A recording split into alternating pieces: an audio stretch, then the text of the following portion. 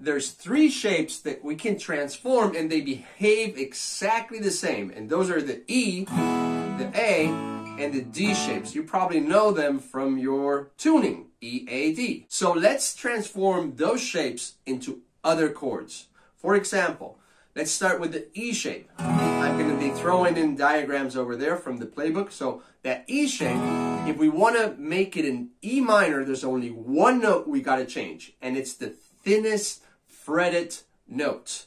What do I mean with thinnest fretted note? The thinnest fretted string that we're fretting, the thinnest one, we're going to move that note one fret towards the headstock. So if this is an E, the thinnest fretted string of that E shape, we're going to move that note one fret towards the headstock, making it an open string. E minor. Okay, this also works for the A major shape and for the D major shape. So if we have an A major, the thinnest fretted string of that shape is the second string. If we move that note one fret towards the headstock, we've got an A minor. Pretty simple, right? Let's check out D. Okay, the thinnest fretted string of that D shape is this note over here, this string, the first string. We move that note one fret towards the headstock, and we've got a D minor. But it doesn't end there. We can keep modifying those shapes using the middle fretted string. So what do I mean with that? E major. Now we're going to use the middle fretted string to create seven and major seven chords. Okay? So middle fretted string to create a seventh chord, we're going to move that two frets towards the headstock. So this is the middle fretted string.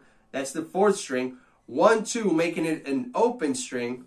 That's an E7 chord. Let's check out A if it works the same way. So this is A.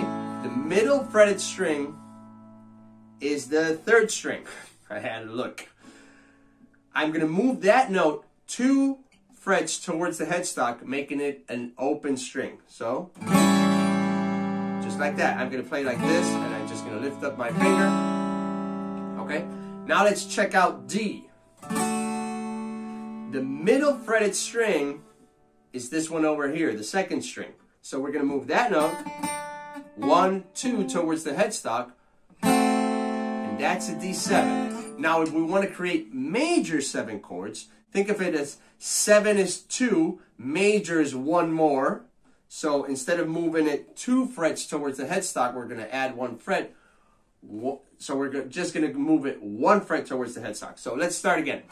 E, the middle fretted string, same as the seventh, it's two, but we're just going to move it one this time. So that's an E major seven.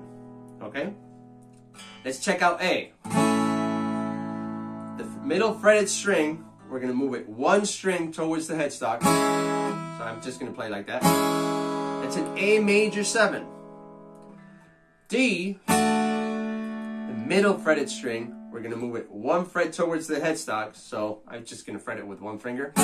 Or you can fret it like that. Or you can fret it like that. However you want to fret it. But that's the major 7.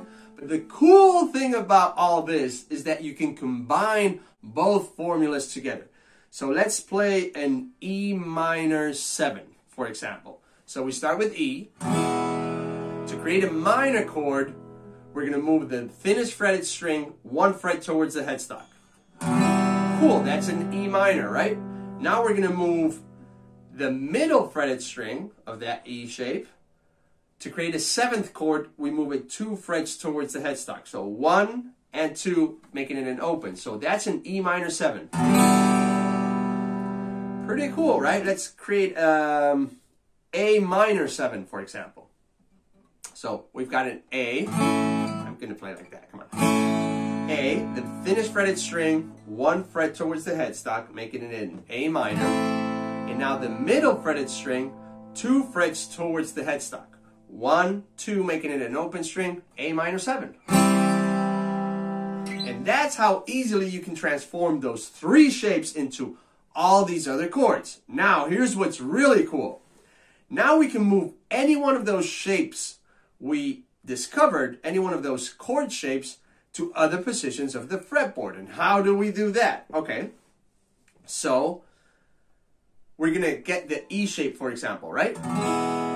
If I, if you move just this note, for example, that's an E note. What happens to that E note if I move it up one fret? It becomes another note, right? And if I move it again, another note. So it becomes all the other notes across the fretboard. Okay, if I get in shape, I'm just going to play the, the strings I'm fretting right now, okay?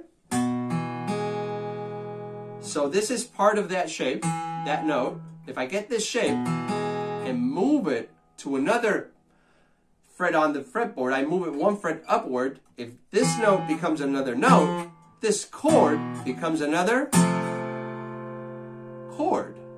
So one note becomes another note, one chord shape becomes another chord.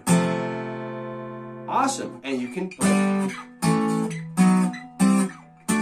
all the other chords.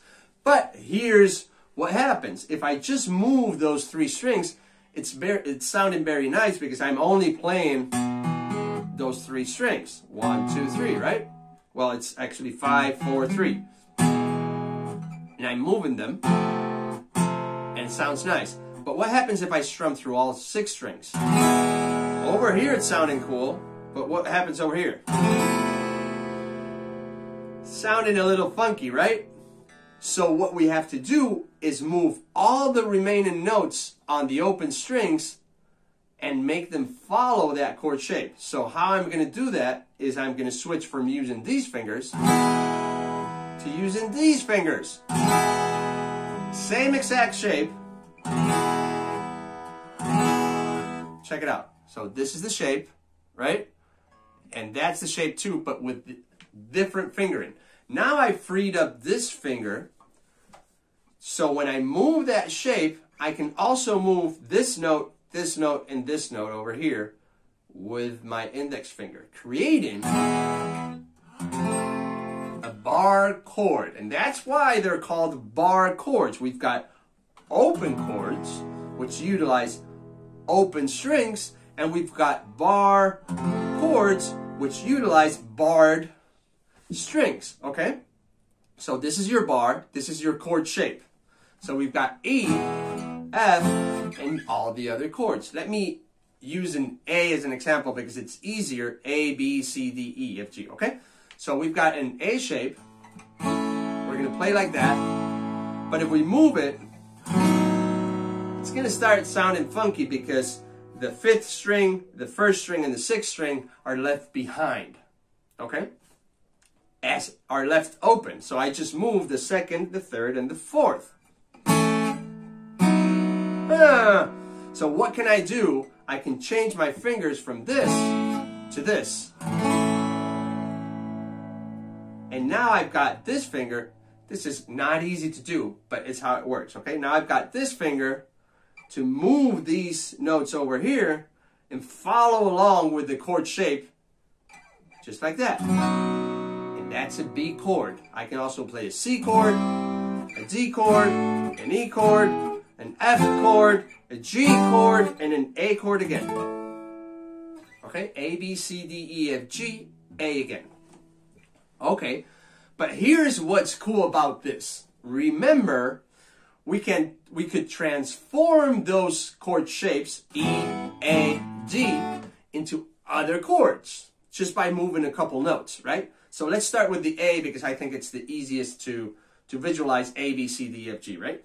So we got an A. To create an A minor, we got that thinnest fretted string, the second, and move that note one fret towards the headstock. Okay, now I'm going to change my fingers. Same chord shape.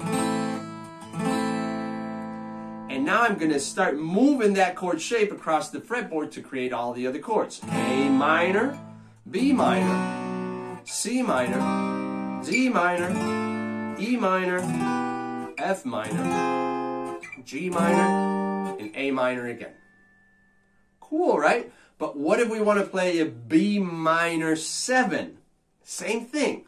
To create a A minor 7, A, we transformed that into A minor, and then we got the middle fretted string and moved it two frets over to the headstock. That note, that middle fretted string, two frets towards the headstock. Okay, so that's an A minor 7. Okay, let's change our fingers, same chord shape, and start moving it. A minor 7, B minor 7, C minor 7, D minor 7, E minor 7. you, you, you can see how this works, right? And we can do that for every one of those chord shapes. We just move a couple notes, they become other chords, and now we can move those chords up the fretboard to create all the other chords. Pretty cool, right? This is explained and detailed inside of the Beginner Guitarist Playbook. Go and check it out if you want. It's pretty cool. 67 pages. You, you won't be a beginner very long, okay? I'll see you inside. Ciao.